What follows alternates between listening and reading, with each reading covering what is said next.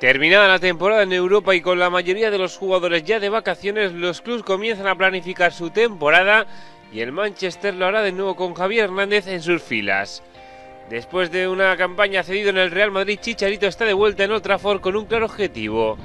El Real Madrid tenía un plazo para ejercer el derecho de compra y lo dejó pasar. Por encima de todo quiero unirme a un equipo donde pueda jugar minutos. Si es en el United o en otro equipo me da igual. Yo quiero jugar, esa es mi prioridad. El mexicano tuvo que salir de Manchester cuando Luis Van Gaal reemplazó a David Moyes como técnico del United en mayo del año pasado. El holandés heredó un equipo con overbooking de delanteros por lo que Hernández tuvo que hacer las maletas hacia la capital de España.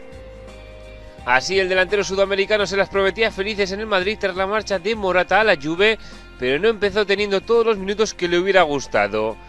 Eso sí, el internacional mexicano supo aprovechar sus escasas participaciones con 7 goles y 4 asistencias en la liga. Además iba a lograr el gol de la victoria en los cuartos de final de la Champions League ante el Atlético de Madrid. Curiosamente Hernández vuelve a Manchester con buenas sensaciones si se comparan sus números con los realizados por los delanteros que dirige actualmente Luis Van Gaal. Y es que a pesar de haber jugado menos minutos que Rooney, Van Persie y Falcao, el mexicano fue mucho más efectivo. Un dato que veremos si le sirve para ganarse un puesto entre los elegidos por el técnico tulipán.